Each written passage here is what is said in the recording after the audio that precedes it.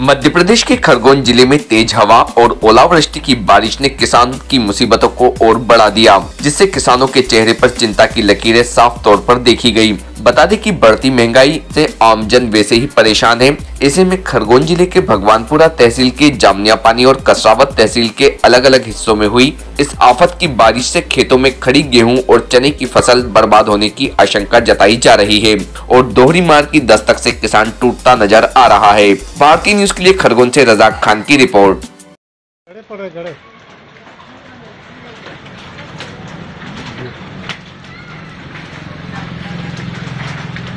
ये गोल कैसे आते हैं? ऊपर से गोल ही आएँगे ना? फिर यहाँ पे डबल हो जाए पड़ जाता है।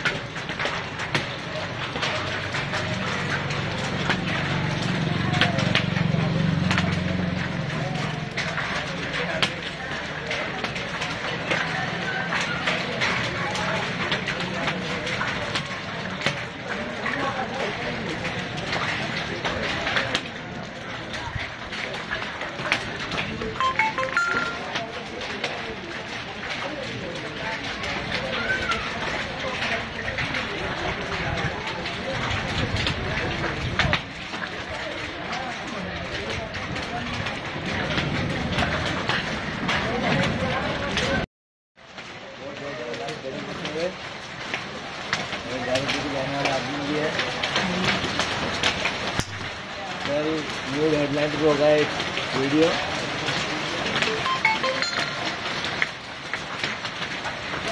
जोरदार बारिश हुई है तो मैंने आपको सामने बोल रहा कुछ करने की थोड़ी ज़्यादा बढ़ेगी नहीं है Subscribe now to most exciting channel ever